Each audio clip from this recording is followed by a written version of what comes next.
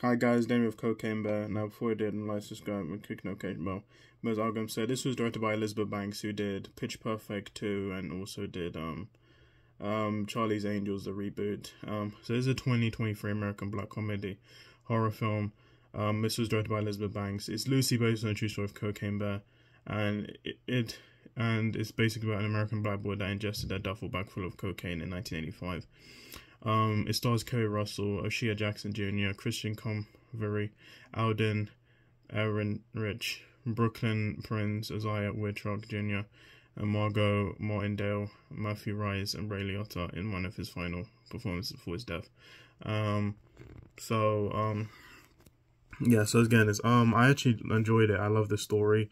I love the cast. Um, and yeah, I really enjoyed it. Um, it has Keri Russell, which if you don't know Keri Russell, she was in um, she was in um Waitress, the Waitress movie.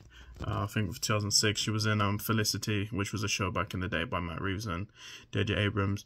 Um, she was also in The Americans. Um, she um you have O'Shea Jackson Jr., which he's the son of um, um O'Shea Jackson, aka Ice Cube. Um, I think yeah, he portrayed his father in um Straight Out Compton biopic. You have Christian Convery, which I he don't know him. He's from Sweet Tooth.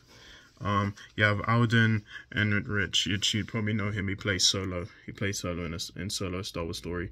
Um, Brooklyn Pr Prince. Uh, I haven't watched her in anything. I think it's the first thing I've seen her in.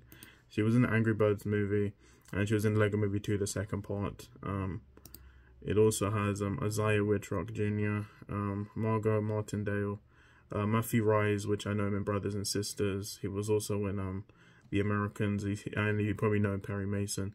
And you have Ray Liotta, which you probably know um, Ray Liotta. This is one of his is is one of his last performances. If you don't know, he died last year. So yeah, and I just love the story. I thought it was great. I thought the cast was really good. I like the music. Music was by Mark Mothersbaugh, which I think he did the score for um, Thor Ragnarok and yeah, I just enjoyed it. It was an entertaining movie. I give it seven out of ten. I enjoyed it.